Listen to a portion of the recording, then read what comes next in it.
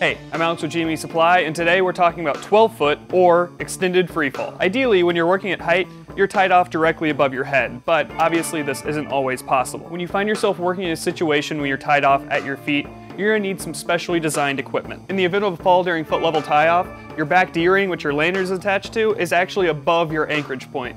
That means you're gonna fall up to 12 feet before your lanyard even begins to catch you. That extra distance is gonna create extra force. Extended freefall lanyards like this Black Max from Westfall Pro are designed to dissipate those forces back into acceptable ranges. There's this large shock pack here which will deploy during a 12 foot freefall to help dissipate those forces. And while not all lanyards are designed like this, this one can actually be used in a 12 foot or a 6 foot freefall scenario.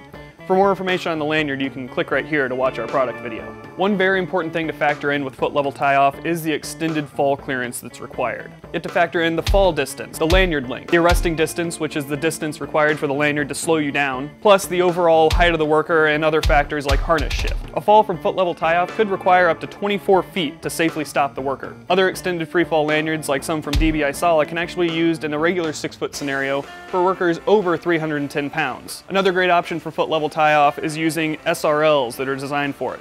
These Nano-Lock Edge from DBI Sala are great because not only are they designed for foot level tie-off, but also for leading edge applications. To see all of our lanyards, SRLs, and other fall protection, head over to gmesupply.com. Also be sure to hit the subscribe button to check these videos out as soon as they're released, and like us on Facebook and follow us at GME Supply on Instagram and Twitter to keep up with all of our news, contests, and updates.